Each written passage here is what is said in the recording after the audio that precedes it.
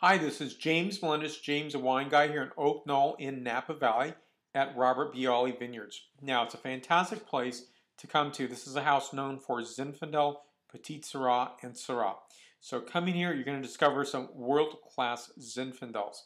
It's a winery that cares immensely about where they source fruit from, and not just where they source fruit from, but what they actually produce, the artistry in the bottle. Now, watch out for black chicken come here and taste the black chicken Zinfandel, ask the story about black chicken.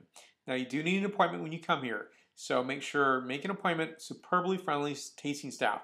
And um, here I am in September 2011 and glorious sunshine, perfect temperature, mid 80s, and definitely try try the Grande Vineyards Zinfandel, try the black chicken, try the Monte Rosso and walk through each of these, taste them, and you see the, the vineyards here.